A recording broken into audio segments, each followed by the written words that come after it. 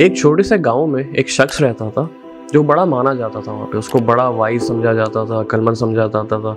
हर गाँव वाला उसके पास आके एडवाइस ले रहा होता था और उसकी एडवाइस से लोग कामयाब भी होते थे। लेकिन उसका मसला ये था कि वो अपनी औलाद की वजह से बड़ा परेशान था। उसका बेटा जो है पूरा दिन घर में सोता रहता था, शाम को आवारागर्दी करता था, ज़िंदगी में कुछ नहीं करता था। और वो उसकी वजह से काफ़ी परेशान रहता था कि यार ये हर वक्त यही करता रहता है, इसका ज़िंदगी में क्या बनेगा? जैसे जैसे वक्त गुजरता गया, उसकी परेशानी बढ़ती गई। यार मुझे अपनी औलाद का कुछ तो करना पड़ेगा, ये ज़िंदगी में आगे कैसे बढ़ेगा? उसकी कल को अपनी फैमिली होगी, उसको कैसे सपोर्ट करेगा? तो एक दिन उसने डिसाइड किया, वो अपने बेटे के कमरे में गया, उसने एक बड़ा सा बैग उसको दिया, जिसके अंदर कुछ चीज़ें पड़ी हुई थी। जैसे कुछ चारों सीज़न के कपड़े पड़े हुए थे, थोड़ा बहुत खाने पीने का सामान पड़ा हुआ था और ज़रूरत की दो चार चीज़ें पड़ी हुई थी। उसने अपने बेटे को बोला कि बेटा, मैंने बहुत अरसे पहले एक जगह पे खजाना दफन किया था तुम्हारे लिए और मैं चाहता था कि जब तुम बड़े हो जाओ तो वो खजाना जाके ले आओ और वो खजाना तुम्हारा है। वो खजाना हासिल करने के बाद तुम्हारी ज़िंदगी बदल जाएगी। बेटा, बड़ा खुश हुआ ये सुन के कि मेरे बाप ने मेरे लिए कुछ, वाकई कुछ पहली दफ़ा कुछ सोचा है, कुछ बहुत अच्छा सोचा होगा यकीन उसने कहा, बेटा, ये कुछ सामान मैं तुम्हें दे रहा हूँ बैग में। सफ़र बड़ा लंबा है तो ख्याल से जाना और वो खजाना लेके आना। अब बेटा, उस खजाने की धुन में इतना मस्त था उसने कुछ रियलाइज़ नहीं किया।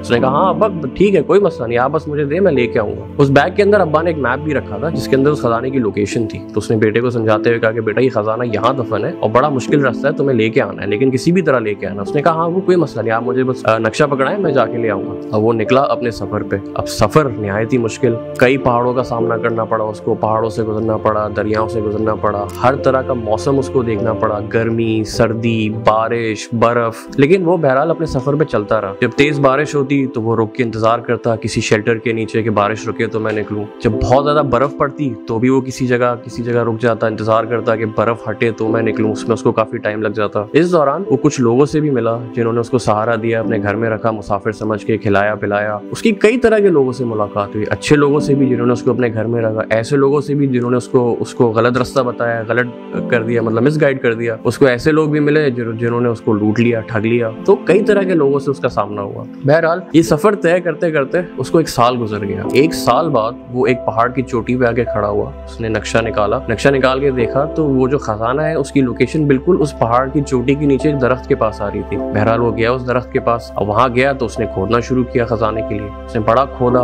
उसको कुछ नहीं मिला। दो चार दिन उसने खोदने में लगा दिया। इधर खोदा लेफ़्ट राइट आगे, पीछे, हर जगह। लेकिन उसको खजाना नहीं मिला। वो बड़ा मायूस हुआ। उसने कहा, यार, मैं इतना एक साल का सफ़र तय करके आया हूँ, यहाँ तो कुछ नहीं है। अब्बा ने मेरे, मुझे बेवकूफ़ बना दिया वो बड़ा तपा अपने अब्बा पे उसने कहा, घर जाके मैं इनको बताऊँगा। बहुत गुस्से में वो अपने सफ़र के लिए वापस निकल पड़ा। अब जब वो वापस गया तो फिर उसको उसी मुसीबतों का सामना करना पड़ा। लेकिन इस दफ़ा, जब बारिश होती थी तो वो बारिश में छुपता नहीं था, वो बारिश के मज़े लेता था। इंजॉय करता था बारिश को फील करता था। जब बर्फ़ होती तो वो बर्फ़ में खेलता था। जब स्प्रिंग आता था, जब पेड़ पौधे उगते हैं फ्लावर्स उगते हैं तो उन फ्लावर्स को तोड़ता, उनकी स्मेल करता। उस मोमेंट को इंजॉय करना शुरू कर दिया उसने। हर मौसम को एंजॉय करना शुरू कर दिया उसने। जब वो वापसी में उन लोगों के पास गया, जिन्होंने उसको पहले शेल्टर दिया था, उनके पास जब वापस गया तो इस दफ़ा उसने उनकी मदद भी की। उनकी डेली मदद करता था, उनकी छोटी छोटी चीज़ों में उनका हाथ बटाता था। ये करते कराते उसके पास जो है सप्लाई ज़ाहिर लिमिटेड थी, खाना खत्म हो गया था। जब खाना खत्म हो गया तो उसने शिकार करना भी धीरे धीरे सीख लिया। वो खुद शिकार करने लग गया। वो कपड़े सीना सीख गया, क्योंकि शिकार के दौरान भाग दौड़ में कपड़े फटफट जाते थे तो उसने सीख, सिलाई करना भी सीख लिया। ये सब करते कराते वो वापस अपने लंबा सफ़र तय करके, मुश्किल सफ़र तय करके घर एक डेढ़ साल बाद दोबारा पहुँचा। अब जब वो वापस घर गया, वो सीधा अपने बाप के कमरे में गया। बाप उसको देख के बाप की खुशी का ठिकाना नहीं था कि बाप ने उसको गले लगाया, बोला, बेटा तुम्हारा सफ़र कैसा रहा? तो उसने कहा कि अब्बा, सफ़र तो बहुत अच्छा रहा, लेकिन मुझे माफ़ कीजिएगा, मैं वो खजाना ढूंढ के नहीं ला पाया। ये बोलने के बाद वो खुद थोड़ा हैरान हो गया कि यार, मैंने तो कहा था कि मैं बड़े गुस्से में आके अपने बाप से बात करूँगा और ये करूँगा, वो करूँगा, लेकिन यहाँ तो मैं बड़ा ठंडा पड़ गया, बड़ा नरम पड़ गया। ये किस तरह की तब्दीली आई है? तो बाप ने उसको गले लगाया और हंस के बोला कि, बेटा, खजाना कैसे मिलता? वहाँ खजाना था ही नहीं। तो बेटे ने बोला, जब वहाँ खजाना था नहीं तो आपने मुझे इतने सफ़र, लंबे सफ़र के लिए क्यों भेजा? तो बाप ने बोला, बेटा, बैठो, बताता हूँ। पहले ये बताओ, तुम्हारा सफ़र था कैसा?